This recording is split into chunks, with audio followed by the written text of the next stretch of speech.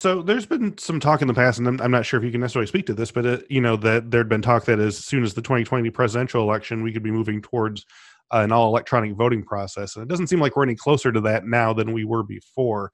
Um, do you think that that will have any sort of bearing on on things in the future? Is that something that's still worth moving towards, or is you know sort of having a paper trail and stuff? Is that still going to be too important to move this to an all electronic sphere? Do you think? Well, I think the current thinking is uh, for for most of the voting is that uh, you know the air gap systems that they use. What I mean by that is, is it's not connected to any network, um, mm-hmm. so it's a lot more difficult to uh, to hack. Uh, you know, we'll be around for a while, but I'll. Um, a lot of states have already started allowing mobile voting. Mm, yes. Yeah. Yes. For like okay. West Virginia. West Virginia was the first one.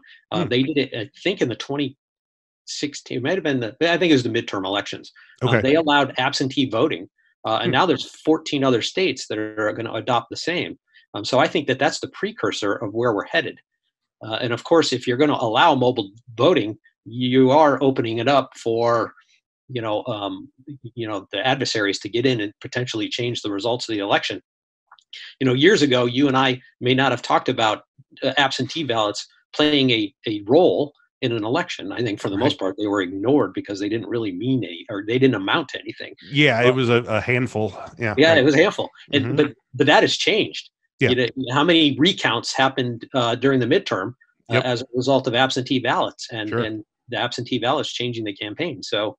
Um, so I, I, think that uh, I think it's it's moving in that direction. You know, I don't know exactly when exactly you know when we'll get there, but right. But uh, but the, you know the signs are pointing to a you know a different voting uh, mechanism.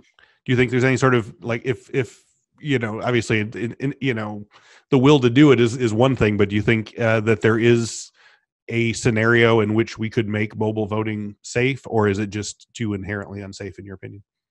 I think we can.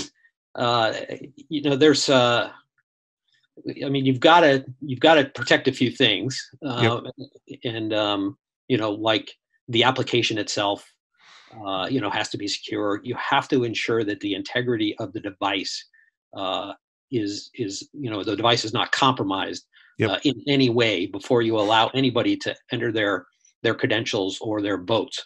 Um, you know, the banking industry's figured it out. Yeah, uh, right. Exactly. so, the, the, the tech is there. It's just yeah, exactly. Yeah. It's just getting it's educating people to understand that they need you know some sort of you know anti-phishing, anti-malware, yep. you know, protection from uh, network man in the middle attacks, you know, things of that nature uh, right. on the device.